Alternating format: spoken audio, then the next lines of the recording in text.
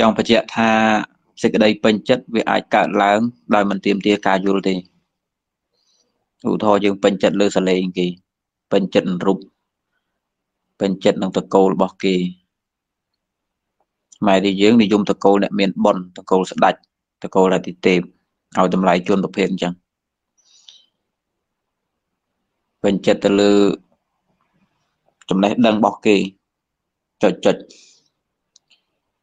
ការពេញចិត្តវាមិនទាមទារការយល់ដឹងអីទេហើយការពេញចិត្តបើកើតច្រើនទៅវាអាចទាញចូលក្នុងអកតេធម៌កន្លងមកក្នុងស្រុកខ្មែរយើងកាលណា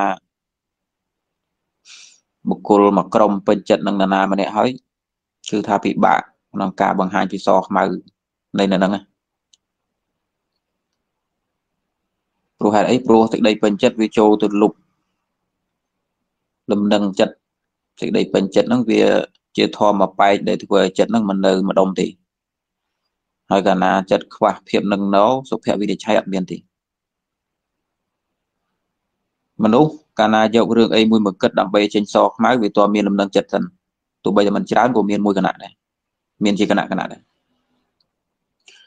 ដល់ពេលសេចក្តីពេញចិត្តដែលវាលុបខ្លាំងពេកទៅវាធ្វើឲ្យមនុស្សអត់មានលំនឹងចិត្តដើម្បីបង្កើតសុភវិរិច្ឆ័យទេ ប៉ុន្តែសទ្ធាទាមទារការយល់ទាមទារការយល់សិនព្រោះសទ្ធាចិត្តវាលីឡំដោយ បញ្ញាចេតសិកឧបមាថាដូចសឡហ្នឹងសឡសឡអីដែលឆ្ងាញ់ផុតថាសឡមជូរចឹងបើទោះបីសឡហ្នឹងជាសឡមជូរមានឈ្មោះថាសឡមជូរមានជាតិជូរជាងគេប៉ុន្តែនៅក្នុងនោះក៏មានគ្រឿងផ្សេងផ្សេងដែរចង់បញ្ជាក់ថាសទ្ធាចិត្តគេ ហៅទៅលើចិត្តមួយប្រភេទ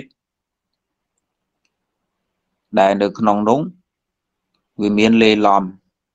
ដោយសហជាតិធម៌របស់វាពេលថាសហជាតិធម៌មានន័យថាកើតរួមគ្នាដូចសឡមួយឆ្នាំងទោះបីថាមានមុខឈ្មោះថាមជូក៏វាមានអំបិលមានប្រៃនៅក្នុងដែរពេលដែលសទ្ធាកើតឡើងវាមានបញ្ញានៅផងឬក៏មានបញ្ញាជាពុបហេតុផង មានយោនិសោមនសកាជាពុបហេតុមានបញ្ញាជាពុបហេតុទើបសទ្ធានឹងកើតសទ្ធាធាតរបស់វាជាកុសលបញ្ញាធាតរបស់វាជាកុសលដែរដូច្នេះពួកនេះវាត្រូវគ្នា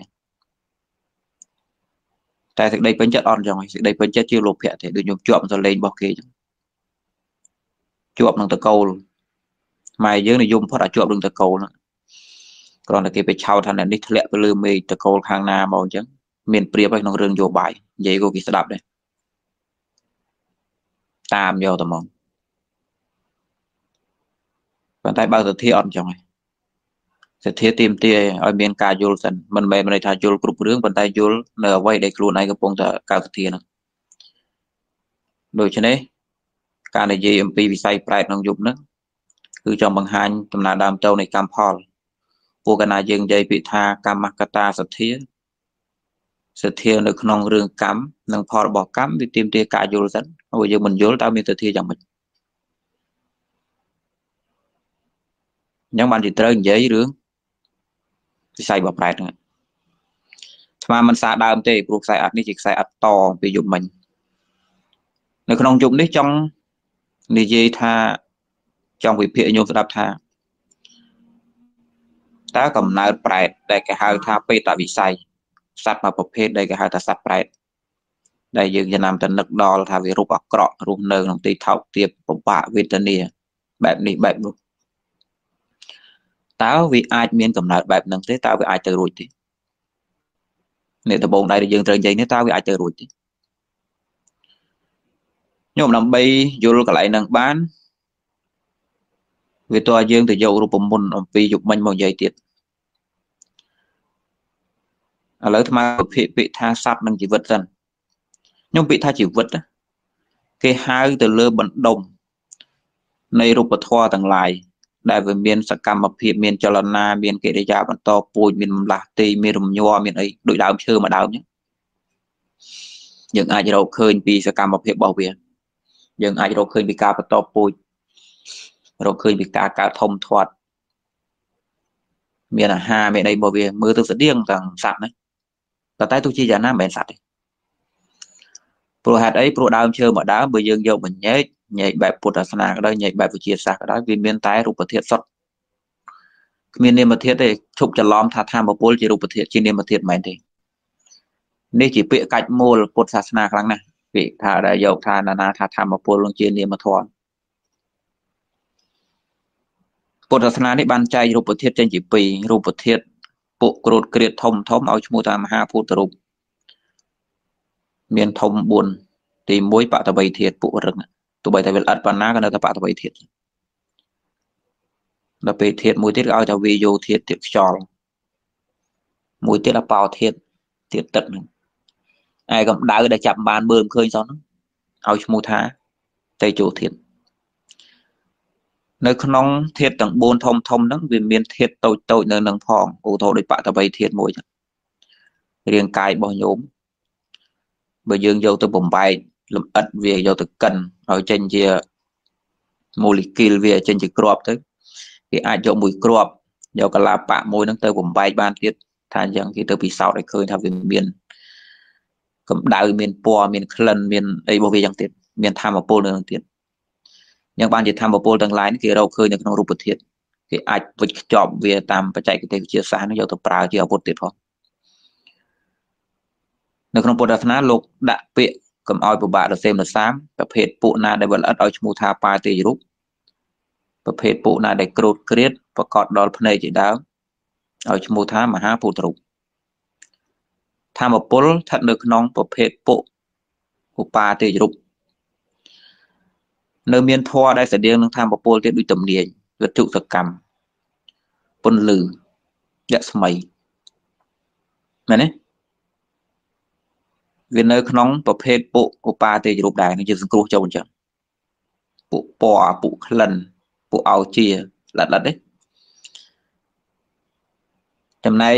ចិត្តរបស់ពួកយើងទាំងឡាយវាជាមកវាជានាមធាតុវាមានលក្ខណៈផ្ទុយទាំងស្រុងអំពីរូបធាតុទាំងឡាយ អញ្ចឹងបានជាដើមឈើមួយដើមនោះទោះបីថាមានសកម្មភាពបន្តពូជមានអាហារមានបំលាស់ទីមានញីមានឈ្មោលមិនត្រូវរាប់ថាជាសត្វទេព្រោះវាអត់មាននាមធាតុនេះឯងដែលហៅថាសត្វគឺជាបណ្ដុំនៃនាមធាតុនិងរូបធាតុដែលសហការគ្នាអញ្ចឹងប្រសិនបើពាក្យថាសត្វនឹងកើតចេញអំពីធាតុផ្សំធំធំពីរ សំណួរសួរថាតើសត្វក្នុងโลกនេះ មានកំណើតប៉ុណ្ណានៅក្នុងពុទ្ធសាសនានេះព្រះសម្ពុទ្ធលោកជាអ្នកត្រាស់ដឹងលោកបានកំណត់នៅកំណើតរបស់សត្វនឹងចេញជា4យមណាតនេដៃតនេទៅសរសេរបន្តិចទៅឲ្យអ្នកផ្សេងមើលផងកំណើតពួកមួយឲ្យឈ្មោះថាអបបាតិកកំណើតអាត្មាមិនវិភាគទេទុកម្ដងសិនអានេះវាវាក់យល់ឲ្យវែងឆ្ងាយទៀតចាំមានពេលក្រោយ កំណើតមួយទៀតឲ្យឈ្មោះថាចលាពុជៈកំណើតពួកយើងនេះចាំមើលអាត្មានិយាយស្ដាប់ពីរណាកំណើតពុទី3ឲ្យឈ្មោះថាសង្សេតិជៈកំណើតកំណើតពុទី4ឲ្យឈ្មោះថាអន្តជៈកំណើតឥឡូវយើងយកពីរមកនិយាយយើងយកកដាលកដាលមកនិយាយរវាងសង្សេតិជៈកំណើតនិងចលាពុជៈកំណើតពាក្យថាចលាពុជៈហ្នឹងចលាពុ ភាសាបាលីមកកើតពីទឹកសំដៅយកកំណើតដែលកើតចេញពីក្របឈាមផ្សំចូលគ្នាដោយឈ្មោះថាចលាពុចលាពុជៈមានប្រភេទពួកយើងយើងហ្នឹងណាញោមឲ្យស្រួលស្ដាប់គឺយើងយើងហ្នឹងហ្មងគោក្របីឆ្កែឆ្មាហ្នឹងគឺកើតចេញពីក្របឈាមហើយចលាពុជៈដល់ពេលកំណើតមកទី2នោះសាំងសេតិជៈហ្នឹងសាំងសេតិជៈហ្នឹងសំដៅយកញើសក្អែល ហេតុអីបានជាកំណើតពួកសាសហ្នឹងកើតសំណើតពួកសាសហ្នឹងកើតចេញពីញើសក្អែលទៅកើតព្រោះយើងយករូបមន្តមកមើលទៅឃើញថាវាស្មើភាពគ្នាទេឥឡូវយើងនិយាយពីសាំងសេតិជៈបន្តិចយកជាលាបុជៈបន្តិចមុននឹងបានកំណើតជាទារូបមួយគ្រូបង្គំពីរធំធំ បានធ្វើការមួយគ្នាទី1ក្របឈាមរបស់ពុកម្ដាយហើយមិនមែនថាឲ្យតែក្របឈាមរបស់ពុកម្ដាយសិតតែអាចទៅរួចក្របឈាមរបស់ពុកម្ដាយខ្លះអាចទេមិនដឹងជាខ្វះជាតិអីក៏មិនដឹងទោះសួរពេទ្យ ហើយតែបានអ្នកខ្លះនៅមួយគ្នាដែរតែអត់មានកូនបើនៅក្នុងពុទ្ធសាសនាមានហេតុផលមួយបែបទៀតណាទី1មកអំពីអត់មានភាពសម្បទានៃក្របឈាមហ្នឹងដូចថាញោមបរិភោគទៅវាមានខ្វះជាតិអីក៏មិនដឹងឈាមរបស់បរិសុទ្ធវាមានរោគអីក៏មិនដឹងឬក៏ឈាមខាងបណ្ដាយវាមានរោគតអីក៏មិនដឹងអញ្ចឹងក្របឈាមហ្នឹងប្រើការកើតនោះមូលហេតុមួយទៅសួរពេទ្យមើលពេទ្យឆ្លើយយ៉ាងម៉េចអត់មូលហេតុទី2 ទោះបីថាក្របឈាមហ្នឹងមានភាពសម្បទាពេញលេញក៏ដោយប៉ុន្តែដោយសារបាបកម្មរបស់បរិសនិងស្ត្រីដែលជាឪពុកម្ដាយហ្នឹងធ្លាប់ធ្វើបាបកម្មមួយប្រភេទដែលជាប្រភេទបាបកម្មបំបែកបំបាក់កូនចៅគេឧទាហរណ៍យកសត្វមកសបុកស៊ីអញ្ចឹងណាទុកតែមេអញ្ចឹងទៅយកកូនស៊ីយកពងសុទ្ធចាប់ញីទុកឈ្មោលចាប់យកឈ្មោលទុកញីយកបែកបាក់គ្រួសារគេជា អ្នកទាំងពីរអ្នកហ្នឹងទាំងប្តីប្រពន្ធឲ្យសាកបាបកម្មបែបហ្នឹងទោះបីនៅមួយគ្នាយ៉ាងម៉េចក៏ដោយក៏មិនអាចមានកូនដែលមានពេលខ្លះគឺអញ្ចឹងប៉ុន្តែណាហើយយើងមិនអាចមើលឃើញថាណានាបានធ្វើអីវាដិតកាលទេមិនបាច់យករឿងនឹងមកនិយាយទេយើងនិយាយត្រឹមថាអាចមកអំពីក្របឈាមរបស់អ្នកទាំងពីរហ្នឹងមិនល្អព្រោះជាលក្ខខណ្ឌដាច់ខាតជារូបមន្តទេមទីឲ្យក្របឈាមហ្នឹងមានសម្បទាពេញលេញសិនពេលថាក្របឈាមមានសម្បទាពេញលេញនៅក្នុងហ្នឹងវាមានអាហារ វាមានឧតុវាមានក្តៅត្រជាក់របស់វាវាមានមហាធាតុវាមានឧបាទាយរូបនៅក្នុងផងមានមហាភូតរូបនៅក្នុងផងជាតិទឹកជាតិអាហារមានពណ៌មានក្លិនមានរសជាតិណាឃើញវាមានលក្ខខណ្ឌរបស់វាអញ្ចឹងទាំងឈាមប្រុសទាំងឈាមស្រីបូកបញ្ចូលគ្នាសហការគ្នានៅក្នុងគណៈដែលវាចាប់ដៃគ្នា ពេញលេញត្រូវលក្ខខណ្ឌរបស់វាហើយពេលនោះមានបដិសន្ធិវិញ្ញាណកើតឡើងនេះចំណែកទី2ណាញោមដរាបណាបដិសន្ធិវិញ្ញាណមិនទាន់មានទេយើងមិនអាចរាប់គ្រាប់ឈាមថាជាតួសត្វទេព្រោះដែលហៅថាសត្វគឺជាបណ្ដុំនៃចំណែកទាំងពីរហ្នឹងអត់ទាន់ទេយើងមិនអាចរាប់ខាងណាមួយថាសត្វទេយើងមិនអាចញែកថានេះដែលហៅថាសត្វគឺគ្រាប់ឈាមបំបែកចេញឬថាដែលហៅថាសត្វគឺវិញ្ញាណសត្វហ្នឹងសំដៅយកទៅវិញ្ញាណហ្នឹងក៏ខុសព្រោះវិញ្ញាណ វាជាភាសាហៅទៅលើបដិសន្ធិវិញ្ញាណនោះឯងបដិសន្ធិវិញ្ញាណបើវាមានតែមួយខាងវាមិនអាចជាសត្វកើតទេព្រោះកាលណាមានតែវិញ្ញាណវិញ្ញាណជាធាតុមួយដែលមិនអាចអត់គេវាមិនអាចទៅរួចទេដែលវាកទៅជាសត្វកើតទៅមកវិញបើមានតែក្របឈាមអត់មានបដិសន្ធិវិញ្ញាណក៏មិនមែនជាសត្វអញ្ចឹងបានជាលោកមិនអោយញែកថាដែលហៅថាសត្វគឺចំណែកណាមួយទេ ពុទ្ធសាសនានេះលោកគ្រាន់បញ្យល់ឲ្យឃើញថា ដែលហៅថាសត្វគឺកើតចេញពីគ្រឿងបង្គំច្រើនយ៉ាងដែលបានជាលោកញែកជាខណ្ឌជាធាតជាអាយតនៈជានាមជារូបឲ្យមើលប៉ុន្តែមិនអោយយើងនៅតែចាប់យកតាណាមួយថាណែដែលហៅថាសត្វគឺអញ្ចេះវិញដែលហៅថាសត្វគឺវិញ្ញាណវិញមិនអញ្ចឹងទេថាបកកើតទ្រឹស្ដីថាដែលហៅថាសត្វគឺអញ្ចេះគឺយកគឺលប់មែនតើ ចាអត់រវល់ចូលរៀនក៏ទៅផុសលុបចោលអឺចេះតែញោមស្ដាប់ឲ្យបានណាយើងមិនអាចកាន់យកចំណែកមកខាងណាមួយរាប់ពីសត្វបានទេព្រោះពាក្យថាសត្វហ្នឹងគឺជាភាសាហៅទៅលើបណ្ដុំទាំងពីរហ្នឹងដែលវាសហការគ្នារួចហើយតោះណាមួយអាស្រ័យដល់មួយអាស្រ័យដល់មួយមួយអាស្រ័យដល់មួយជំរុញគ្នាទៅមកទៅមកយ៉ាងបានជានៅក្នុងពុទ្ធសាសនាហ្នឹងបានបង្កើតពាក្យថាកម្មច្ចរូបនិងចិត្តច្ចរូបឡើង ពាក្យថាកម្មច្ចរូបមានន័យថាក្របឈាមរបស់ពួកយើងទាំងឡាយរបស់ស្រីនិងប្រុសដែលវាចាប់គ្នាហើយវាធំធាត់វាទៅជាខាប់វាទៅជាដុំវាទៅជាសាច់វាដុះទៅជាខ្នែងវាចេញទៅជាទ្វាភ្នែកច្បងតាកាយដែលវាដុះទៅយ៉ាងកើតណាញោមព្រោះវាត្រូវបានឆ្នៃដោយបដិសន្ធិវិញ្ញាណនោះបានគេឲ្យឈ្មោះថាកម្មច្ចរូបតោះណា ពាក្យថាកម្មនៅក្នុងទីហ្នឹងគឺហៅទៅលើបដិសន្ធិវិញ្ញាណហ្នឹងដែលបដិសន្ធិវិញ្ញាណហ្នឹងវាជាវិបាករបស់កម្មចាស់អញ្ចឹងក្របឈាមហ្នឹងអាចនឹងទៅមុខបានអាចនឹងឆ្នៃទៅជាអញ្ចេះអាចនឹងទៅជាអញ្ចេះទៅជាអញ្ចោះរហូតដល់កើតជាកូនទេរូបមួយមានអវយវៈ5គ្រប់គ្រាន់ខុសគ្នាផ្សេងផ្សេងណាទាំងមុខមាត់ទាំងទម្រង់ហ្នឹងគឺវាមានការចាត់ចែងលេខលោកដោយបដិសន្ធិវិញ្ញាណនេះ ឯបដិសន្ធិវិញ្ញាណនោះក៏ត្រូវបានហៅថារងអត្តពលអំពីក្របឈាមនឹងដែរព្រោះហេតុអីព្រោះបើមិនមានគេទេ ជាមូលដ្ឋានទេវាមិនអាចតាំងនៅបានទេតោះណានៅក្នុងច្បាប់ធម្មជាតិនេះអត់មានងាប់ទៅហើយវិញ្ញាណនឹងតូលទៅណែទៅទេញោមពួករូបធម៌ប៉ុណ្ណោះដែលវាអាចទៅបាន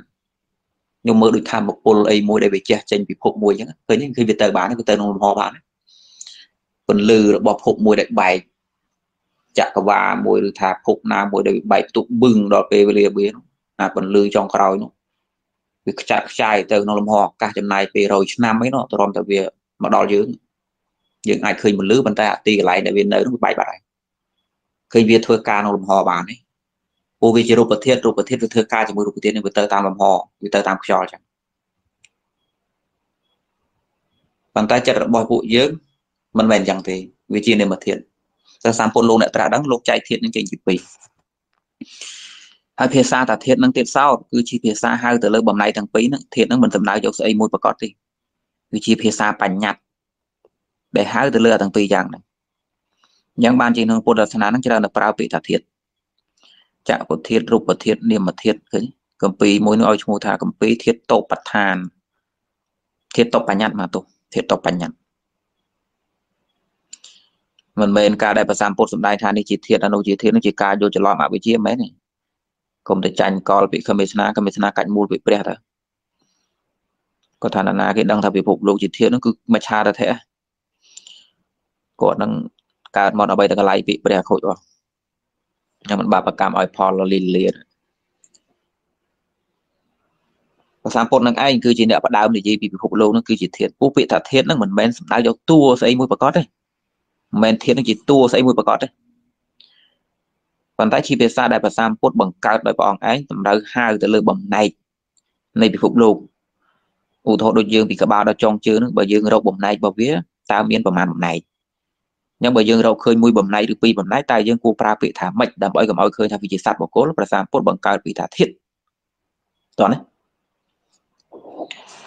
ខ្លឹមសាររបស់វាគឺអញ្ចឹង ដូច្នេះនិយមបើយើងយកពាក្យថាជាលាពុជ្ជកំណើតមួយមកនិយាយមានន័យថាកំណើតស័កមួយដែលកើតចេញពីគ្រឿងបង្គំពីរធំធំទី1គឺនាមធាតុទី2គឺរូបធាតុបានវិភាគណាថានាមធាតុរូបធាតុគឺជាអ្វីមិញបាននិយាយរួចហើយហើយវាអាស្រ័យគ្នាយ៉ាងម៉េចឥឡូវយើងដេញជើងទៀតយើងដេញជើងថាបាច់ថាអូចាំបាច់តតក្របឈាមมันអាចមានបដិសន្ធិវិញ្ញាណកើត ចុះបើវត្ថុធាតុផ្សេងផ្សេងដែលក្រៅពីក្របឈាមឧទាហរណ៍ភក់ជ្រំខ្ញុំដែលយើងហៅថាសង្សេតិជាក្បាលរបស់ខ្ញុំសឹកក្អែលខ្ញុំខាន់គូទឹកនោះញើសញើសក្អែលក្អែលប្រឡាក់ដីបន្តិចប្រឡាក់អីបន្តិចនោះណាខ្ញុំដែលអេសក្បាលនេះអេសខ្វោកខ្វោកទៅឃើញវាទើអីខ្លះនៅកញ្ចក់ខ្ញុំដឹងអាហ្នឹងហ្នឹងខ្ញុំបើយើងបាច់យកក្អែលជាប់កញ្ចក់របស់ខ្ញុំហ្នឹងយើងយកមកដុំហើយយើងយកមកញែកញែកទៅតាមរូបមន្តមិញហ្នឹងតើយើងរកឃើញអីខ្លះ ក្នុងក្អែលនោះក្អែលមានជាតិទឹកអបោធាតមានណាក្អែលមានកំណបតវ័យធាតផងមានទេឡាក្អែលនឹងមានពណ៌ទេមានញោមមើលឃើញឃើញតែពណ៌របស់វាមានប្រកប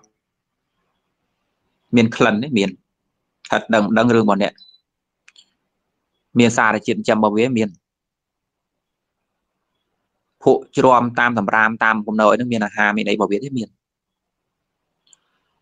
ស្មើទៅខ្ញុំស្មើក្របឈាមហ្នឹងស្មើហ្នឹងស្មើតាសំណួរសួរថាបើក្របឈាមរវាងស្រីប្រុសក៏មានលក្ខខណ្ឌបែបហ្នឹងដែរបើសាំងសេតិចសាំងសេតៈពុញើសក្អែលជ្រាំភក់ទីសំណើមក៏មានលក្ខខណ្ឌដូចនឹងក្របឈាមនេះដែរសំដៅសួរថាហេតុអីបានជាបដិសន្ធិវិញ្ញាណនឹងមានតែក្នុងកំណើតពុះស្ត្រីហេតុអីបានមិនមាន នៅក្នុងភក់ជ្រាំផងយើងមិនដឹងទេពួកយើងមិនអ្នកត្រាស់ដឹងយើងមិនអាចយល់អំពីច្បាប់ធម្មជាតិនឹងបានមានតែប្រសាពុទ្ធពេលដែលព្រះអង្គជាអ្នកត្រាស់ដឹងព្រះអង្គបានបង្ហាញការពិតមកបានយើងទាំងឡាយនៅគ្លឺភ្នែកថាអូការពិតចឹងមែនដូច្នេះតែខ្ញុំកំណើតពួកតកៅពួកចៃប្រភេទពួកខ្លះមិនមែនទាំងអស់ទេខ្លះកើតពីមេបាដោយតែមនុស្សដែរខ្លះទៀតអត់ទេហើយតែមានភាពភក់ភក់ជ្រាំជ្រាំសើមសើមអាស្រ័យពេលវេលាមកដល់បដិសន្ធិវិញ្ញាណមានណា នឹងកំណើតពួកនោះមានហើយបាយមួយឆ្នាំងដែលយើងដុតពុះ100អង្សាសេយើងទុកស៊ីហើយយើងក្រោកវាចោលបិទឲ្យចិត្តគ្មានសัตว์ញីឈ្មោះណាទៅបន្តពូជទៅក្នុងទេខ្ញុំមិនយូរមិនឆាប់ទេកើតជាតកើបានតែតែកុំច្រឡំថារាល់ដង្កូវរាល់ពួកចៃពួកស្អីដែលអាត្មាលើកឡើងសុទ្ធតែកើតជាពីនឹងទាំងអស់មែនទេណាកំណត់បែបហ្នឹងគឺខុសវាកើតពីមេបាក៏មានដែរ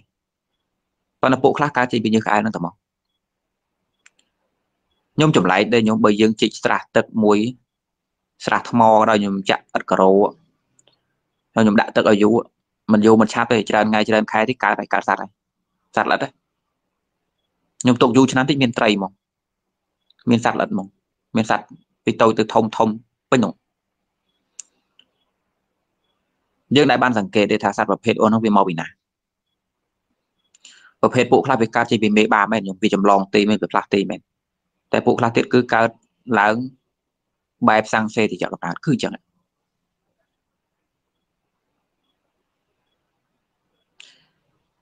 ដូច្នេះខ្ញុំកំភៃខ្ញុំខ្ញុំកំភៃថាបើវិទ្យាសាស្ត្រគេរកឃើញថាឥឡូវនេះគេអាចរកឃើញថាមានទ្វីបមួយមានភពមួយនឹងដែលមានលក្ខណៈសម្បត្តិស្តៀងផែនដីប៉ុន្តែនៅក្នុងពេលនេះឥឡូវនេះពុំទាន់មានជីវិតទេគ្រាន់តែវាចាប់ផ្ដើមមាន ទឹកមានអីមានអាកាសធាតុមានខ្យល់មានអីស្តៀងផែនដីតទៅមានសត្វនៅក្នុងហើយព្រោះសត្វប្រភេទពួកខ្លះកើតឡើងដោយសង្សេតិចកំណើតតែប៉ុណ្ណោះខ្ញុំមានឆ្ងល់ទេខ្ញុំមើលជាទៅវែងឆ្ងាយទេនិយាយចឹងជាវែងឆ្ងាយណាចេះទៅប្រធានបតបអាត្មាដូចចកតែទឹកចេះតែមានរឿងចង់និយាយបើក្រុមបើក្រុមពុទ្ធកៈហ្នឹងមិនរំលាយទៅណាទេខ្ញុំរឿងទៀនចេះអត់ទេនិយាយនិយាយទៅអស់ជីវិតអស់ គាត់ទេរឿងខ្ញុំខ្ញុំឆ្ងល់ដែរដែរយើងមិននាំគ្នាទៅអីឲ្យកើតមច្ឆារតិខ្ញុំយើងលោបើកវងកញ្ចក់ទៅចុះខ្ញុំឆ្ងល់ថា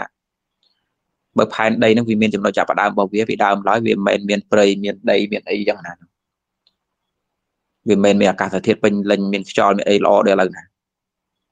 ហើយថាពីដើមសិតតែជាបន្ទុកក្នុងភ្លើងហ្នឹងវាសិតតែជាកំណថ្មដុំថ្មអីហ្នឹងមិនអញ្ចឹងហ៎ នៅវាក្តៅទៀតឬថាវាមានទឹកកកស្រោបពត់ជុំវិញទៀតផ្ដើមចេញពីដំបងដែលអត់មានសត្វសោះទីបំផុតទៅមានសត្វគាត់ថាវាមកពីណាពុកម៉ែរបស់យើងមកពីណាវិញខ្ញុំឆ្ងល់ដែរផ្ដើមចេញពីផែនដីដែលវាតងោលអត់មានអីសោះរហូតចុះពួកយើងមកពីណាអ្នកខ្លះគេថាមនុស្សកើតជាពីស្វាចុះស្វាមកពីណាចុះ ហើយស្វាគ្រាន់បើហីឯងកើតជាមនុស្សកើតដោយកុសលហើយស្វាកើតជាមានអកុសលហើយមានមុនឯងទៀតហើយឯងអន់នឹងស្វាទៅទៀតព្រោះមិនដឹងរមុខរមាត់ថាបើយើងឃើញមុខឯងស្តៀងស្វាថាស្វាប្រហែលចុះយើងថាវិញថានេះស្វាហ្នឹងវាដើមកើតពីមនុស្សវាពួកមនុស្សពួកខ្លះវាខូចពេក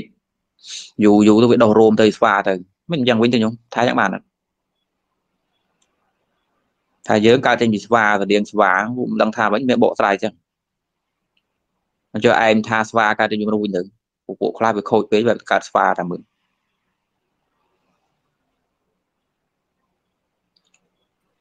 ខ្ញុំមកតាមពិតទៅយើងអត់និយាយពីរឿងស្វានិយាយ dinosaur និយាយពីមនុស្សអីទេយើងនិយាយថាបើផែនដីដំបូងអត់មានអីសងសត្វពេលនោះមកពីណាឲ្យតែធាតុទាំង4នេះខ្ញុំឲ្យតែធាតុទាំង4នេះទឹកដីភ្លើងខ្យល់និងឧបាទេជ្រុបនេះមានសម្បទាគ្រប់គ្រាន់ហើយកុំភ័យមិនអត់ទេសសัตว์ កុំខ្លាចទំនេរដូចអាត្មាវិភាគឲ្យញោមមើលមិញអាភុជ្រំមិញសាងសេតិចកំណើតមកអាបដិសន្ធិភ្លាមឃើញទេអញ្ចឹងកំណើសត្វលោកនៅលើផែនដីហ្នឹងអាចមានពីរបែបបើយើងរកឃើញទៅណាទី1បែបទី1គឺបែបសង្សេតិចកំណើតនឹងផ្ដើមដំបូងគឺអញ្ចឹង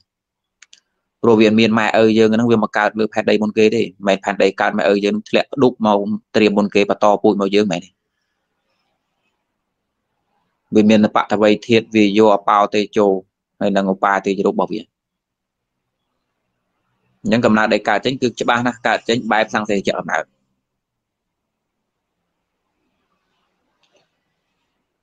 ឯមួយបែបទៀតគឺកើតចេញពីការគេហៅថាចំណាក់ស្រុក ចំណាក់ស្រុកអំពីទ្វីបផ្សេង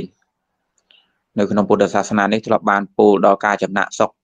រវាងពួកអមនុស្សទាំងឡាយដែលនៅក្នុងចក្រវាលដតីពេលដែលផែនដីរបស់យើងមានសម្បទាល្មមនៅហើយពួកគេក៏មិននៅវាដូចតែយើងឥឡូវមានបច្ចេកវិទ្យាខ្ពស់នាំគ្នារត់ចោលផែនដីហើយចិត្តដាច់ពូជថាហ្នឹងគេវិភាគថា1000ឆ្នាំទៀតអាចនៅលេងកើតអីចឹងនាំយកបរណានិគមលើភពផ្សេងផ្សេងហើយ មួយទៅភពអង្គាមួយទៅភពសេរីមួយទៅណាទៅនៃពីទឹកពីដីហ្នឹងរត់ចោលផែនដីអស់យើង20ទៀតសល់ដីហើយវិជាសាស្ត្រទៅអស់ហើយនៅតែពួកអាស៊ីពួកអីយើងនឹងឯងដែលជាប់ជំនឿនៅអោបផែនដីហ្នឹងពួកអឺរ៉ុបទាំងឡាយលេងរវល់ផែនដីហ្នឹងទៅក្រៅហើយ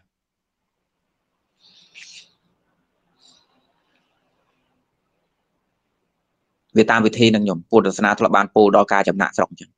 ចំណាក់ដោយវិធីបែបណាមិនដឹងប៉ុន្តែភាពជាក់ស្ដែងពួកយើងចំណាក់ដោយបច្ចេកវិទ្យារបស់វិទ្យាសាស្ត្រ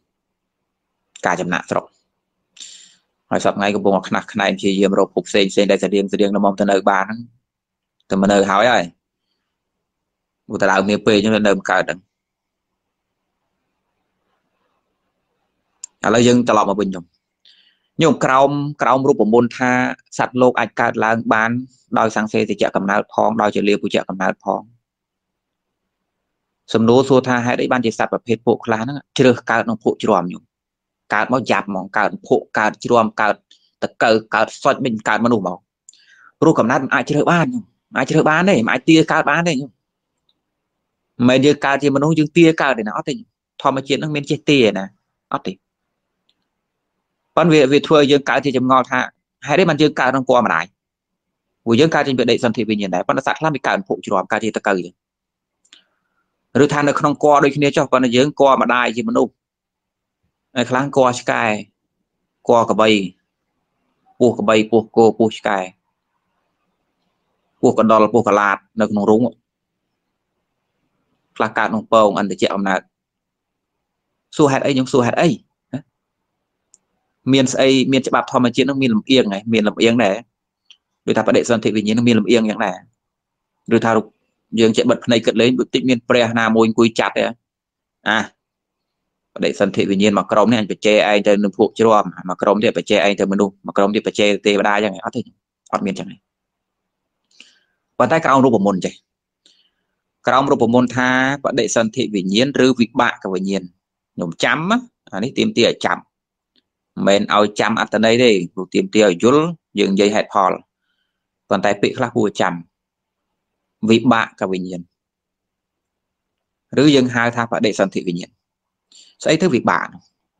វិបាកហ្នឹងគឺលទ្ធផលខ្ញុំដូចផ្លែឈើហ្នឹងវាកើតចេញពីពូជអញ្ចឹងផ្លែឈើហៅផលពូជរបស់វានៅនឹងគុលអាលឺចូលដីហើយចិត្តបនចិត្តបាបរបស់ពួកយើងទាំងឡាយនេះវាកើតរលត់កើតរលត់ក៏ពិតមែនប៉ុន្តែវាជាបច្ច័យវាជាហេតុដែលធ្វើឲ្យបដិសន្ធិវិញ្ញាណកើតឡើងកើតនៅក្នុងទីណា គឺកើតលើមូលដ្ឋានរបស់វាឧបាទេយរូបនិងមហាពុទ្ធរូប មិនថាជាក្របឈាមរបស់ស្រីប្រុស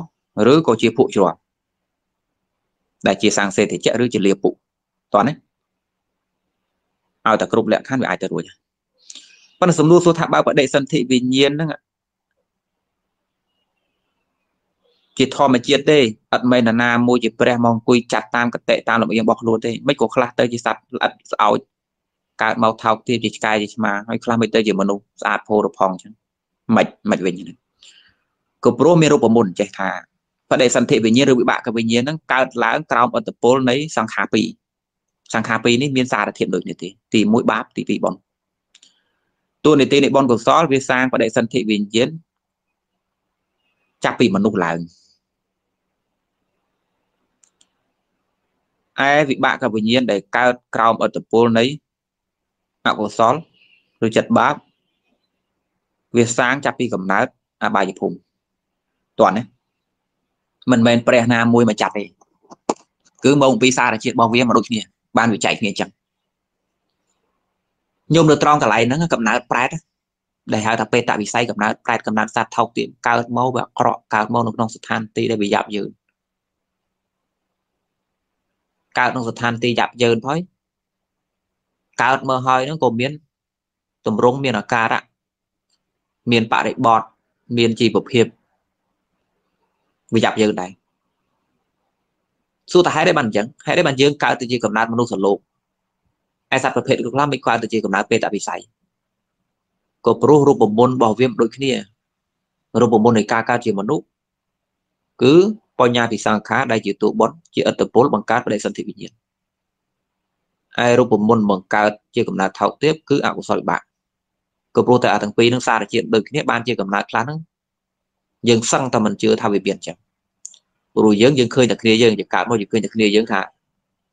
បើល្អអាក្រក់ក៏ល្អអាក្រក់នៅក្នុងទម្រង់មនុស្សដូចថាអ្នកខ្លះកើតមកស្អាតអ្នកខ្លះកើតមកសក់ស្រួលអ្នកខ្លះកើតមកក្របបាក់មុខមាត់មិនសូវស្អាតប៉ុន្តែក៏មិនឆ្ងាយគ្នាពេកដែរក្នុងទម្រង់មនុស្សអានេះក៏ព្រោះកំណត់របស់យើងទទួលយកតែមនុស្សតែម្យ៉ាងយើងកើតមកឃើញតែមនុស្សយើងទៅថាពិភពលោកមានតែមនុស្សចឹងប៉ុន្តែយើងមានដែរដឹងនេះមិនដែរដឹងថាទម្រង់សត្វដទៃដែលផ្សេងពីមនុស្សគឺមួយបែបទៀតដូចពួកសត្វត្រីដែលវានៅក្នុងទឹកចឹង វាសឹងតែមិនជឿថានៅលើគោកនោះមានសត្វពួកមរឹកតែវាខុសដាច់ដលែកអំពីពួកត្រីតែម្ដងហើយពួកត្រីពួកទឹកពួកនៅក្នុងដូចកែបត្រីដៅអីហ្នឹងវាវាសឹងតែមិនជឿថាមានប្រភេទពួកសះដែលជាបាក់សៃបាក់សាបាននេះដូចពួកយើងនេះពួកយើងកើតក្នុងកំណើតជាមនុស្សឃើញតែមនុស្សឲ្យយើងទៅទទួលស្គាល់ស្អីផ្សេងពីហ្នឹងឲ្យតែខុសពីយើងយើងខាត់ចោលវាមិនដែលណាកើតមកប្រែតឯណារូបរាងធំធំ ហើយកើតមកវេទនាមែនទេតែយើងទទួលយកមិនបានបើខ្ញុំទទួលយកអានឹងបានខ្ញុំមើលតានេះទៅហេតុអីបានជាសត្វពួកខ្លះកើតជាតកៅកើតជាសុចកើតជាចៃកើតជាអូយោពិបាកមើលណាសត្វល្អិតព្រីប្រប្រាក់ពេញហ្នឹងហើយយើងចេះតែដាក់សំណួរថាម៉េចអញមកអញ្ចឹងហើយវាក៏ទៅចឹងក៏ព្រោះរូបមន្តនៃការកើតដូចគ្នាវាអាចទៅរួចអញ្ចឹងអ្វីដែលអាត្មាកំពុងនិយាយចង់និយាយថាកំណត់ប្រាត់វាអាចទៅរួចព្រោះមូលហេតុវាអញ្ចឹងវាមានដើមតងវាអញ្ចឹង មិននិយាយឲ្យជឿណាផ្លូវដែលអាចទៅរួចគឺប្រឡងហ្នឹងខ្ញុំកំណត់ពួកសត្វខ្លះខ្ញុំចម្លែកដូចសត្វបាតសមុទ្រអីចឹងអាយើងកើតក្នុងទម្រង់ជាមនុស្សយើងទៅងូតចូលទឹកសមុទ្រប៉ះអាកន្លែងទឹកសមុទ្រដែលបាតសមុទ្រដែលវាជ្រៅអាកន្លែងទឹកដែលវាផុសពីភ្នំភ្លើងក្តៅណាយើងត្រូវតែកម្ដៅព្រះទឹកទ្រាំបានស្បែកយើងនេះហើយបើយើងមួយចូលទៅក្នុងបាតសមុទ្រទៅទៅប៉ះជាមួយនឹងកម្ដៅដែលផុសចេញពីដីមកទឹកវាហ្នឹង កុំដល់100អង្សាអញ្ចឹងតែ50អង្សាយើងទ្រាំបានផងប៉ុន្តែទឹកពុះនៅបាតសមុទ្រកម្ដៅ100អង្សាសេហ្នឹងគេទៅរកឃើញប្រភេទពួកសត្វល្អិតពួកតកៅដែលវាកើតនៅក្នុងអីមានសបុកមានអីទៅហើយសាច់វាទុនទុនដូចតែយើងតិចនេះមិនមែនមិននិយាយកម្ពីស្អីទេណាខ្ញុំខ្ញុំបើខ្ញុំអាសាបើកមើលវិទ្យាសាស្ត្រទេខ្ញុំដឹងយើងចេះឆ្ងល់មើលទៅចេះឆ្ងល់ថានេះក៏សត្វប្រភេទពួកនឹងទៅរួចហ្នឹង ព្រោះថាយកសាច់អញទៅព្រាបអញចុះទៅក្នុងទឹកក្តៅនឹងបន្តិចអាលួយអស់ហើយវាទុនទុនដូចតែឯងដែរតកៅផងសុទ្ធទៀតតែវាកើតទៅនោះហ្មងកើតទៅនោះហ្មងនឹកឃើញដល់កន្លែងហ្នឹងនឹកឃើញសម័យកន្លងទៅយូរហើយព្រះរាជាប្របាទ Melinda ហ្នឹងលោកធ្លាប់សាកសួរទៅព្រះរហន្តអង្គលោកសួរថាលោកម្ចាស់ពុទ្ធសាសនាហ្នឹងបាននិយាយអំពីនរកដូចជាប្រែតអញ្ចឹង ហើយបាននិយាយថាកម្ដៅភ្លើងកម្ដៅស្ថានទីដែលបកើតហ្នឹងកម្ដៅហ្នឹងខ្លាំងណាស់សង្ឃថាយើងដាក់ដុំថ្មចូលទៅក៏សង្ឃឲ្យលួយបានដែរលោហៈធាតុដាក់ទៅល្មមទុនផងហ្មងយូមឆាប់ឲ្យលាខ្សលប៉ុន្តែវាក៏មានសត្វកើតក្នុងកើតខ្ញុំក៏ណាត់ជឿទេខ្ញុំខ្ញុំដឹងហេតុអីបានបរិជានឹងគិតអញ្ចឹងតែខ្ញុំគូគិតដូចយើងចឹងយើងគិតថាទេទៅកដៅអញ្ចឹងអញប៉ះទៅញ៉ាំលាកចង់ងាប់ដល់យកបងសក់បងសក់ប៉ះតែបន្តិចបានផងសាច់យើងណា ប៉ុន្តែប៉ុន្តែពេលទៅឃើញទៅឃើញអាតកៅដែលដែលពងសម្បុកនៅលើកម្ដៅភ្លើងហ្នឹងសឹងតែជឿអត់បានព្រោះហេតុអីបានយើងសឹងតែទទួលយកបាននឹងបើកុំទៅឃើញតបភ្នែកណាព្រោះថាគេនិទានឲ្យស្ដាប់វាអត់យកបានអត់ទទួលយកបានទេវាមិនដែរវាមិនដែរញោមដោយសារយើងយកខ្លួនយើងយើងយកតម្រង់យើងទៅប្រៀបធៀបយើងគិតថាបើអញជាសាច់អញជាមនុស្សអញ្ចឹងអញសាច់អញ្ចឹងសាច់អញប៉ះកម្ដៅបានយើងត្រូវដឹងថាយើងកំពុងតែយកភាពជាយើងទៅទៅប្រៀប តម្រង់វាដូចគ្នាដល់ពេលបរិជានឹងសួរគាត់សួរបែបម៉េចគាត់ថាខ្ញុំកណ្ណាអត់ជឿអត់ជឿនៅត្រង់ថាបើកម្ដៅភ្លើងនៅក្នុងនរកនឹងវាក្តៅអញ្ចឹងហេតុអីក៏មានសត្វនរកកើតហើយសាច់របស់សត្វនរកនោះវាមិនមែនដូចដុំថ្មណាវាជាសត្វមែនទេវាមិនដូចដុំថ្មណា ក្នុងពុទ្ធសាសនាបានសម្ដែងថាដុំថ្មបើដាក់ចូលទៅក៏អាចលាយបានដែរក្តៅពេកហើយសត្វនោះមិនងាប់ទៅណាខ្ញុំគណៈអត់ជឿអត់ជឿខ្ញុំគាត់និយាយយើងតំណងទេសូម្បីតែយើងស្ដាប់ពេលនោះក៏មិនអាចទេមែនទេហើយខ្ញុំដឹងហេតុអីបានបរិជាអង្គនឹងលោកគិតអញ្ចឹងលោកគិតដូចតែយើងពួកគាត់ថាបើអញសាច់អញអញ្ចឹងទៅប៉ះភ្លើងក្តៅចឹងងាប់ឲ្យភ្លើងក្តៅចឹងនោះដាក់ថ្មអំបានហ្មងនោះមិនលួយពួកគាត់ចេះតែគិតថានរកហ្នឹងវាដូចតែយើងចឹងសត្វហ្នឹងវាដូចយើងតម្រង់ដូចគ្នាចឹង ដល់ពេលដល់ពេលគាត់សួរដេញគាត់ថែមទៀតគាត់ថែមគាត់សួរបែបពង្រីកគំនិតគាត់ថាហេតុអីបានជាសត្វនរកនោះដាក់ទៅមិនលយខ្ញុំមិនណាទទួលយកបានខ្ញុំដឹងព្រះរហន្តលោកតបថាម៉េចទេឥឡូវយើងយកមកគិតមិនមែននិយាយជឿឥឡូវយើងគិតមើលលោកសួរទៅវិញលោកសួរថាមហារាជមហារាជនេះហៅស្ដេចណាមហារាជនៅលើនៅក្នុងភាពជាមនុស្សនឹងធ្លាប់ឃើញ ប្រភេទសត្វធំធំដូចកពើដូចសត្វព្រៃឥឡូវយើងនិយាយកពើមួយចុះដែលវាលេបដុំថ្មឬបាក់សៃបាក់សាខ្លះវាលេបពួកគ្រោះពួកវៀនចូលទៅឬក៏ពួកពោះអីចឹងដែលវារឹតមករឹកមួយទាំងមូលលេបទៅទាំងឆ្អឹងទាំងឆ្អឹងឬថាព្រៃឬក៏រាជសីដែលវាលេបវិសេទៅទាំងមូលទាំងមូលចឹងសំណួរសួរថាតើឆ្អឹង រឹងរឹងដែលសត្វទាំងអស់នឹងលេបចូលទៅដូចកពើលេបដុំថ្មចូលទៅខ្ញុំមើលទាជាដើមនៃវាស៊ីខ្ចៅចូលទៅលេបមិនមែនទៅពីលេបយកមកកពើអញ្ចឹងលេបទាំងមូលទាំងមូលឆ្អឹងចូលទៅព្រះរាជាព្រះរហន្តលោកសួរថាតើសត្វតើឆ្អឹងទាំងអស់ហ្នឹងអាលួយអាលួយតើអាលួយមែនអាលួយមែនអាចសត្វរបស់ទាំងអស់ហ្នឹងអាលួយវែកមកវិញតែសំណួរថាសួរថា បើសត្វបើឆ្អឹងទាំងអស់ហ្នឹងវារឹងយ៉ាងនោះវាអាចឲ្យលួយបានចុះកាពះពវៀនរបស់សត្វនោះវាក៏មិនលួយដែរទៅក្រែងវាទុនយើងឆ្អឹងហ្នឹងឬក៏កឬក៏សត្វដូចសុទ្ធហ្នឹងសុទ្ធតែសុទ្ធរាវរាវរិករិកនៅក្នុងពោះនោះដែរនៅក្នុងពោះសត្វនោះមិនក៏វាមិនលួយទៅពងរបស់វាមិនលួយទុនទុននៅក្នុងពោះដូចតែគ្នាមិនក៏លួយតែឆ្អឹងព្រះរាជានោះថាខ្ញុំកណ្ដាលមិនច្បាស់លាស់ដែរកន្លែងហ្នឹងមិនដឹងយ៉ាងម៉េច និយាយឲ្យស្រួលស្ដាប់លោកថាកម្មវាជាអ្នករៀបចំតម្រង់ឲ្យដូចគ្នាខ្ញុំកម្មត្រូវត្រង់សัตว์អញ្ចឹងវាឆ្នៃឲ្យពួកយើងមកដូចគ្នាខ្ញុំតន់ខ្ញុំអាចនឹងមើលឃើញថាសាច់ទុនដូចគ្នាខ្ញុំអាចតែឃើញសកម្មភាពចលនាសម្រេចដូចគ្នាយើងអាចរកឃើញថាទឹកដីភ្លើងខ្យល់បង្គំនៃរាងកាយដូចគ្នាប៉ុន្តែព្រោះតែវាកើតចេញវាត្រូវបានឆ្នៃដោយកម្មផ្សេងគ្នាទៅភាពធន់ភាពស៊ាំរបស់វាមិនដូចយើងទេដូចគ្នាទេ តម្រងផ្សេងគ្នាខ្ញុំស្រួលស្ដាប់ឲ្យយើងស្ដាប់ថាតម្រងផ្សេងគ្នាអញ្ចឹងយើងកុំយកតម្រងយើងទៅប្រៀបមួយសត្វអស់នោះឧទាហរណ៍បើអាត្មាយកសាច់អាត្មាទៅប្រៀបមួយអាតកៅបាតទៅមុនវាដូចគ្នា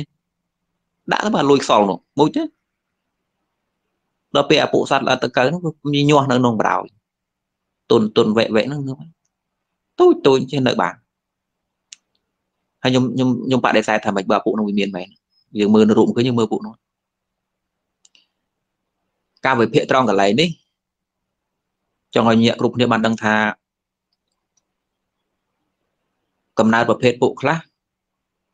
វាអាចទៅរួចដោយសារអីដោយថាស្ថានទីដែលវាត្រូវកើតនឹងវាស័កសមជាមួយនឹងបដិសន្ធិវិញ្ញាណរបស់វាឯយើងបដិសន្ធិវិញ្ញាណបែបយើងបដិសន្ធិវិញ្ញាណរបស់យើងវាស័កសមជាមួយនឹងក្របឈាមជាមួយនឹងរាងកាយបែបមនុស្សនេះវាស័កសមគ្នាតោះនេះវាចាប់គ្នាវាស័កសមគ្នា ឯចំណៃសត្វនរុសត្វប្រែជាដើមហ្នឹងបដិសន្ធិវិញ្ញាណរបស់ពួកវាស័កសមជាមួយនឹងស្ថានទីបែបនោះប៉ុន្តែយើងទទួលយកទៅនឹងបានដោយសារយើងចេះតែយកខ្លួនយើងទៅប្រៀបថាទេបើអញអញ្ចឹងអញខ្លាចឈឺអញ្ចឹងសាច់អញអញ្ចឹងអាលួយអញ្ចឹងទៅប៉ះឡើយនឹងមិនកើតថាឯងនឹងវាមិនដូចគ្នាទេតើនេះទោះបីតែក្នុងនាមថាជាសត្វកើតក្រោមរូបមន្តពីរដូចគ្នានាមធម៌និងរូបធម៌ប៉ុន្តែសារជាដូចគ្នាទេភាពធន់ភាពស៊ាំ តម្រង់ចាក់ចែងមកមិនដូចគ្នាទេអញ្ចឹងដំណោះស្រាយយ៉ាងខ្លីថាកម្មរៀបចំមកឲ្យអញ្ចឹងកម្មរៀបចំមកឲ្យអញ្ចឹងធម្មជាតិគឺអញ្ចឹងការបកស្រាយជាហេតុជាផលដល់ទីបំផុតគឺត្រូវឆ្លើយថាធម្មជាតិនឹងគឺអញ្ចឹងមានអីបកស្រាយជាងនឹងទេទេឧទាហរណ៍ថាបើញោមណាមួយទឹកបាតសមុទ្រទៅឃើញសត្វតុនតុននឹងវារស់នៅលើកម្ដៅទឹក100អង្សាសេហ្នឹងដល់ពេលយើងសួរទៅសួរមក មានតែឆ្លើយថាសត្វហ្នឹងវាអញ្ចឹងរាងកាយរបស់វាហ្នឹងវាត្រូវបានគ្រប់គ្រងត្រូវបានឆ្នៃដោយបដិសន្ធិវិញ្ញាណដែលបដិសន្ធិវិញ្ញាណហ្នឹងក្រោកសាច់ឈាមរបស់វាឲ្យមាំមិនឲ្យរលាយរលុះឃ្លាតចេញពីវាទេបដិសន្ធិវិញ្ញាណរបស់យើងគ្រប់គ្រងក្របឈាមយើងសាច់ឈាមយើងឲ្យស្វិតឲ្យធន់ជាមួយនឹងកម្ដៅធម្មតាធម្មតាជាមួយបាយជាមួយទឹកជាមួយសាច់ជាមួយអាហារទុនទុនជាមួយពុកជាមួយខ្នោជាមួយកាតេលជាមួយអីហ្នឹង ប៉ុន្តែมันអាចទៅធន់ជាមួយនឹងអាកាសធាតុក្តៅ100អង្សាសេបានទេឯបដិសន្ធិវិញ្ញាណរបស់សត្វអស់នោះវាគ្រប់គ្រងព្រោះវាត្រៀមកើតតែអញ្ចឹងហើយវាទៅកន្លែងនោះហើយវាគ្រប់គ្រងសាច់ឈាមសត្វអស់នោះឲ្យកើតភាពស៊ាំភាពធន់ជាមួយនឹងស្ថានភាពនោះវាអាចទៅរួចកន្លែងនោះក្រោមមូលហេតុនេះឯងបានជាសត្វនរកសត្វប្រែមានពិតប្រាកដព្រោះកំណត់បែបហ្នឹងមានមែនអាកំណត់ភ្លើងឆេនអា កំណត់កៅស្ថានទីលំបាកខ្ញុំមើលទៅនឹងមយល់ខ្ញុំមើលទៅតកៅពួកជ្រាប់មិនក៏មកដូចយើងទៅ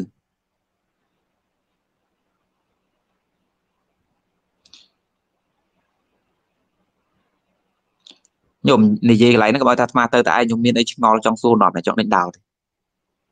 មកថាក្បាលមីក្រូទៅមួយជាទៅអញ្ចឹងខ្ញុំខ្ញុំមានអីចំទាស់ត្រង់ទៅហ្នឹងអត់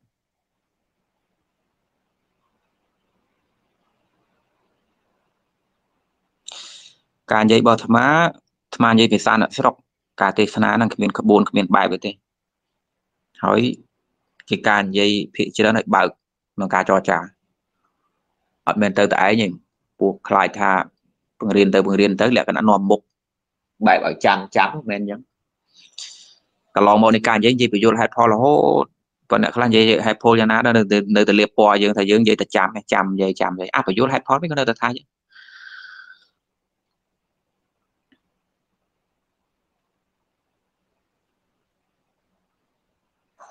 ឥឡូវឥឡូវខ្ញុំមានអីចង់ចង់ដេញដោលហ្នឹងអត់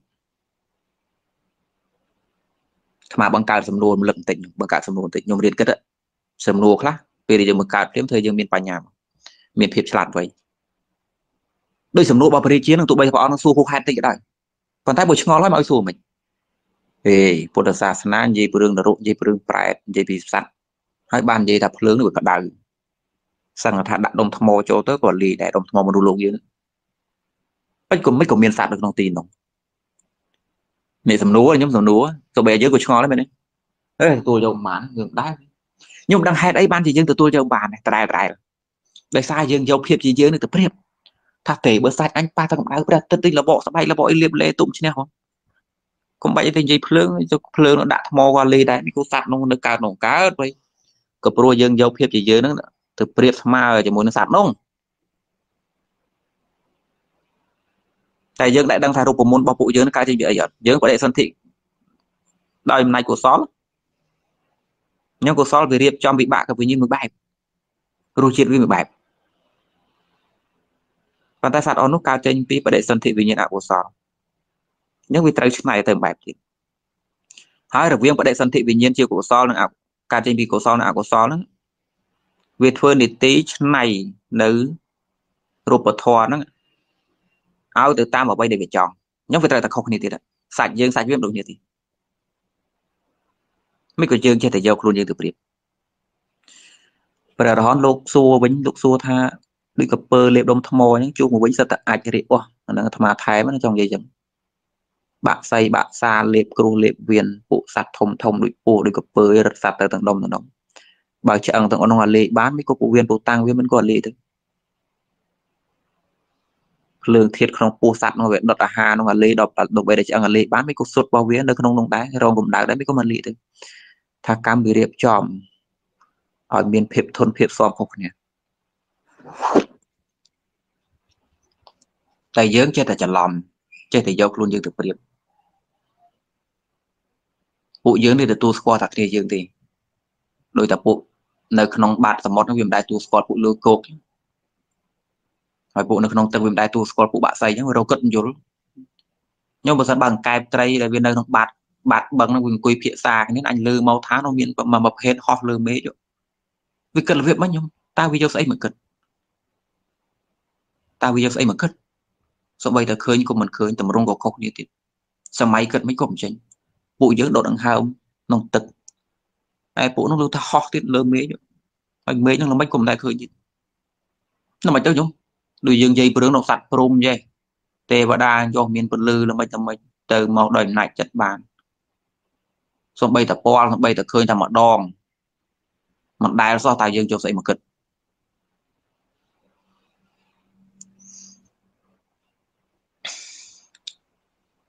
តែយើងយកស្អីមកគិតយកស្អីមកឲ្យយល់កើតមែនទេ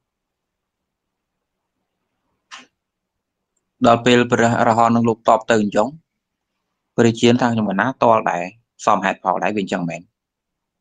ក៏ព្រោះអីក៏ព្រោះថាបដិសន្ធិវិញ្ញាណនឹងវាត្រូវរៀបចំមហាភូតរូបនៅបាយទេជរូបឲ្យមានតម្រង់សមនឹងស្ថានទីបែបនោះខ្ញុំមើលតែតកៅបាតសមុទ្រដែលវារងកម្ដៅរងសាសេវាមិនងាប់ឲ្យពួកវាមើលទៅបើយើងទៅមើលទៅរូបខ្ញុំអាត្មាមើលវីដេអូមើលទៅរូបតូចតូចទុនទុនញ័រញ័រ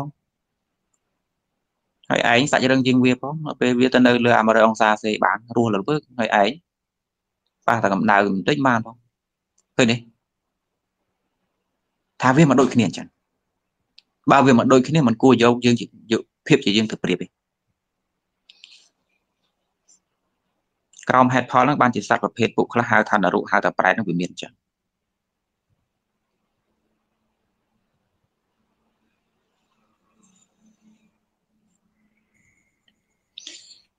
ឥឡូវមានសំណួរវងកញ្ចក់បន្តិច នេះសំណួរដែលញោមគាត់សួរឥឡូវអាត្មាឆ្លៀតបើវងកញ្ចក់ដាក់បន្តិចញោមអ្នកចូលថ្មីបិទសលេងញោមញោមម៉ៅហ្នឹងញោមបិទសលេងមិនបិទសលេងគាត់ចេញមកអឺចេះញោមសំណួរសួរថាអញ្ចឹងសត្វអស់ហ្នឹងវាពេញចិត្តកំណើតវាអត់វាពេញចិត្តកំណើតវាអត់ញោមចាប់សំណួរឲ្យតាន់ណាមានពេលខ្លះយើងអត់ដែរយើងអត់ដែរយកចិត្តទុកដាក់នឹងសំណួរទេគ្រាន់តែលើសួរយើងយកចិត្តទុកដាក់តែចម្លើយទេយើងដែរបានថាតើការសួរបែបនោះត្រូវខុស ខ្ញុំស្ដាប់ពាក្យអាត្មាតន់នេះភាកច្រើនឲ្យតែសំណួរកើតឡើងមនុស្សព្យាយាមចាំស្ដាប់ចាំមើលចម្លើយគេបែបណាណោះយកមកមានពេលខ្លះត្រូវយកយកសតិអារម្មណ៍ហ្នឹងមកមកត្រួតមើលតើសំណួរហ្នឹងត្រូវឬនៅអ្នកសួរហ្នឹងកើតចេញពីអារម្មណ៍កើតចេញពីការយល់មិនបានជាសំណួរហ្នឹងវាកើតឡើងដូចជាសំណួរសួរថាចុះសត្វអស់ហ្នឹងវាពេញចិត្តនៅកំណើតវាអត់ខ្ញុំញោមអាពាក្យថាពេញចិត្តណា មានន័យថាអ្នកសួរគឺប្រើអារម្មណ៍ជាមនុស្សប្រើអារម្មណ៍ភាពជាសត្វដូចយើងនេះប្រើភាពជាសត្វដើម្បីសួរ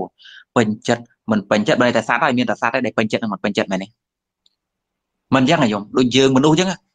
អេអ្នកឯងពេញចិត្តកន្លែងហ្នឹងអត់អត់ពេញចិត្តទេស្អុយអញ្ចឹងកន្លែងសួនច្បារហ្នឹងក៏អូកោពេញចិត្តអូចូលចិត្តដែរលោកតែសត្វលោកតែជាសត្វសិនបានបង្កើតថាពេញចិត្តឬមិនពេញចិត្តអញ្ចឹងណាញោម ប៉ុន្តែបដិសន្ធិវិញ្ញាណហើយនឹងឧបាទេយរូបនាមរូបមហាភូតរូបនិងឧបាទេយរូបមិនមែនសត្វទេដរាបណាទាំងពីរនឹងមិនទាន់សហការគ្នាទេមិនមែនសត្វទេវាជាធាតុអត់ដឹងដូចគ្នាខ្ញុំបើអាត្មានិយាយចឹងប្រហែលមានអ្នកខ្លះអស់ឆ្ងល់មែនតើថាអីសំបីតែបដិសន្ធិវិញ្ញាណនាមធាតុនឹងហៅថាធាតុមិនដឹងដែរ ដល់រាបណាមិនមែនជាសត្វលោកឲ្យឈ្មោះថាធាតុមិនដឹងទឹកដីភ្លើងខ្យល់មិនមែនជាធាតុដឹងពួកវាមិនមែនសត្វនោះវាដឹងអីវាបដិសន្ធិវិញ្ញាណនោះក៏មិនមែនជាធាតុដឹងដែរលុះអាទាំងពីរហ្នឹងគុំចូលគ្នាបានមានធាតុភ្ញាក់ឡើង ថាវាជាស្អីអញសត្វអញសត្វដូចម៉ាស៊ីនដែលយើងគុំចូលគ្នាអញ្ចឹងគ្រឿងដែក100គ្រឿងដល់រាបណាគុំត្រូវវាឆេះទេគ្រាន់គុំត្រូវដូចភ្ញាក់ឡើងត្រូលរញ័របែបហ្នឹងមក មានតួប្រានមានតួម៉ាស៊ីនកើតឡើងមានតួខ្លួនមានតួអីកើតឡើងភ្លាមតែសាក់ខ្ញុំគុំខ្វះតាមតាសាយស្អែកឆេះស្ងាត់ឈឹងនៅនោះបដិសន្ធិវិញ្ញាណមិនមែនសត្វទេនាមរូបឧបាទេយរូបនិងមហាភូតរូបក៏មិនមែនសត្វដែរក្របឈាមប៉ុន្តែដល់ទាំងពីរនឹងគុំត្រូវគ្នាភាពជាសត្វកើតឡើងចិត្តប្រតកម្មឡើងថាពេញចិត្តនិងមិនពេញចិត្តក៏បានដែរ ក៏វាមានដែរក៏វាមានចាប់ពីពេលហ្នឹងដែរដូចម៉ាស៊ីនហ្នឹងក្រត់គុំត្រូវមានផ្សែងមានចលនាមានស្អីហុយជុតមកសំណួរសួរថាពេលដែលសត្វហ្នឹងកើតភាពជាសត្វរួចហើយតើវាពេញចិត្តនឹងកម្ដៅនឹងអត់ខ្ញុំឥឡូវសូមឆ្លើយថាវាមិនអាចជ្រើសបានថាខ្លួនឯងអញសូមជ្រើសទៅកន្លែងនោះខ្ញុំមិនជ្រើសកើតឡើងនឹងទេឧទាហរណ៍កើតជ្រុលកើតរួចហើយណាអើយអញអញកើតទីតកៅអញហើយអញកើតជាតកៅអញអញធុញណាអញឃើញមនុស្សរស់នៅស្រួលមានពូក ធ្វើម៉េចនោះអញកើតជាមនុស្សវិញនោះឬក៏ចៃឬក៏សកោចឬក៏ស្អីសម្មើឬក៏សុចមូស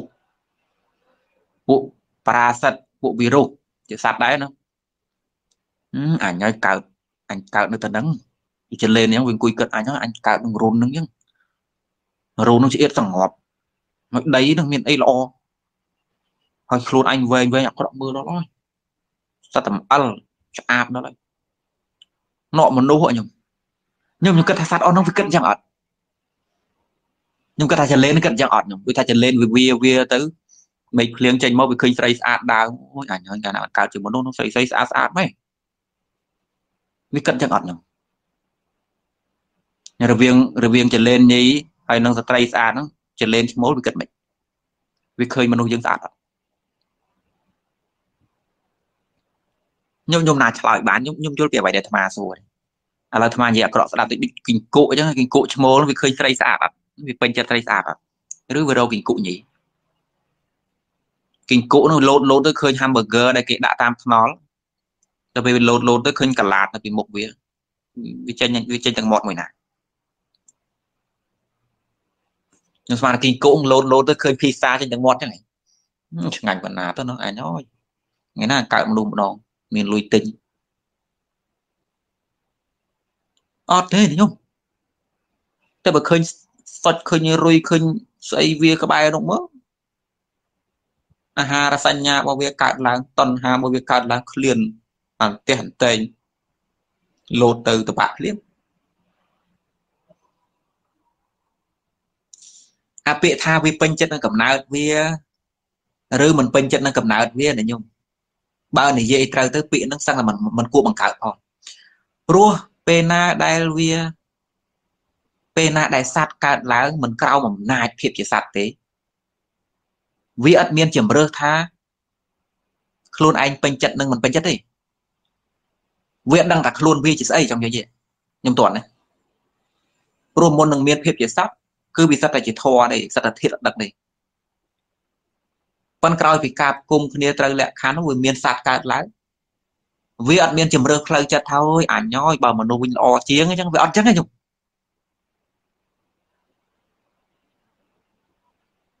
ខ្ញុំខ្ញុំយល់ពីអ្វីដែលស្មាននិយាយដូច្នេះសម្បីតែពាក្យថាអញអញពេញចិត្តបើអញវិញវិញអញមិនពេញអញមិនពេញចិត្តរបស់មនុស្សទេវាអត់មានអារម្មណ៍ទៅប្រៀបអញ្ចឹងខ្ញុំដល់ពេលអត់មានអារម្មណ៍ទៅប្រៀបអញ្ចឹងពាក្យថាពេញចិត្តនិងមិនពេញចិត្តគឺអត់មានលើវាទេ វាអត់មានអារម្មណ៍មកប្រៀបយ៉ាងទេខ្ញុំតន់នេះពួកយើងនេះតែអ្នកប្រៀបឲ្យវានេះយើងសួរបែបអារម្មណ៍យើងនោះយើងយកអារម្មណ៍យើងទៅសួរចំនួនចលេនអ្នកចលេនឯងពេញចិត្តអត់វិញសបុកឯងចង់ដីនឹងសិនអិលនឹងវែងវែងនឹងខ្លួនដូចស្អីនឹងភ្នែកនឹងនៅណាយើងយកអារម្មណ៍បើបើជាអារម្មណ៍យើងប្រាប់ថាអញពេញចិត្តទេអញមិនពេញចិត្តចលេនទេហើយក៏សួរជាសំណួរឡើងថា តើចលេនវារស់នៅអញ្ចឹងលោកចាស់វាវានៅក្នុងដីវានៅភក់អញ្ចឹងកណាឃើញតែភក់អួតចង្រប់តើវាពេញចិត្តកំណើតនោះអត់ញោមអារម្មណ៍របស់យើងយើងសួរអញ្ចឹងតែវាមិនមែនអញ្ចឹងទេវាអត់មានអារម្មណ៍នោះអត់មានអារម្មណ៍មកប្រៀបជាមួយយើងអញ្ចឹងទេ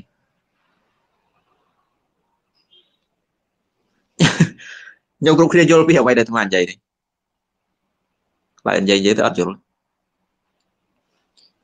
ដូច្នេះពាក្យថាពេញចិត្តនឹងមិនពេញចិត្តហ្នឹងมันគួរបង្កើតទៀតផង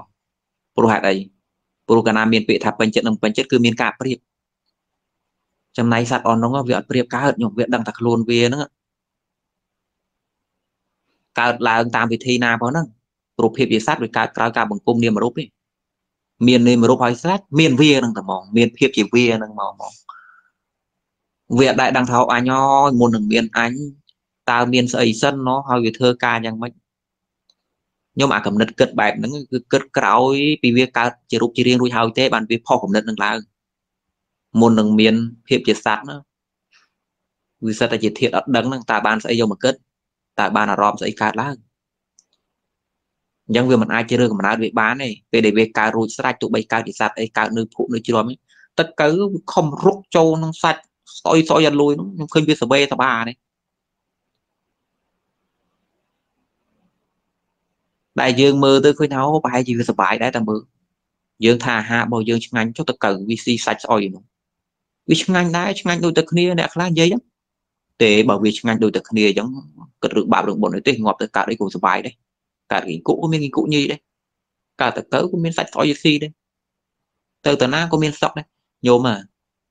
អូយហួម៉ោងទេនេះកន្លែងនោះត្រូវនិយាយច្រើនទេមិនត្រូវយល់វាពាក់ព័ន្ធនឹងវិបលាសសញ្ញា សម្រាប់ញោមញោមមើលឃើញភក់ជ្រាំថាវាគួយខ្ពើមណាវាមានតកៅរុកមានអីចឹងវាប្រឡាក់ស្បែកប៉ុន្តែជ្រូករត់ឃើញវារត់ចូលមកយើងចេះសួរថាមិនក៏ឯងខ្ពើមអាជ្រូកយើងចាប់ជ្រូកមកមកចាប់លកជាវាសួរឯងខ្ពើមទេអីជ្រូកវាមិនយល់ទេញោមវាមិនយល់សំណួររបស់យើងទេវាគ្មានអារម្មណ៍ពើមទេព្រោះកំណើតរបស់វាអញ្ចឹង បដិសន្ធិវិញ្ញាណរបស់វារៀបចំនាមរៀបចំរូបរាងកាយរបស់វាឲ្យសមនឹងស្ថានភាពបែបនោះវាមិនអាចមកបង្កើតអារម្មណ៍ខ្ពើមដូចយើងទេ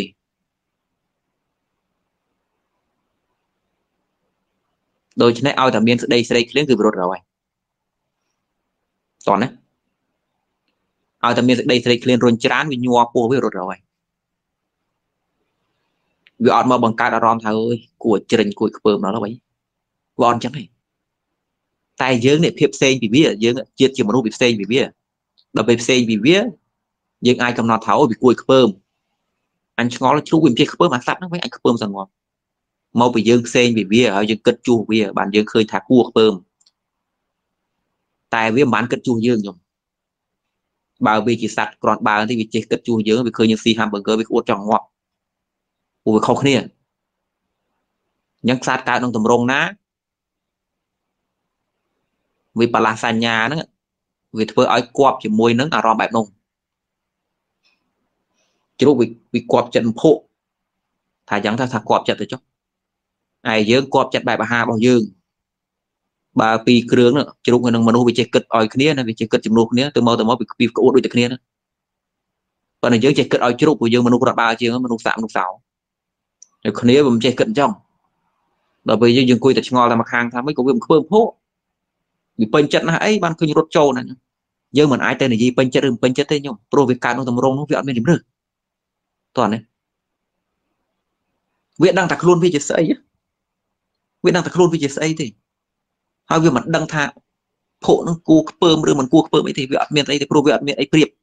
ចំណែកយើងជាមនុស្សគ្រាន់បើជាងវាយើងមានអីប្រៀបយើងគិតថាតែបើ burger វាឆ្ងាញ់ភក់វាខ្ពើមវាមិនត្រូវអញយើងវាចេះគិតប្រៀប